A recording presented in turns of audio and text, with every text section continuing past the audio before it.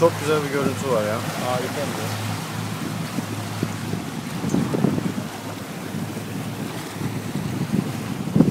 Teknede kalan kişi marinada kalan tekne varsa bana haber versin.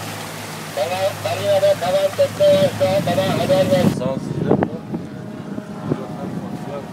Benzinli ama. Değişiklik. Bu insanlık.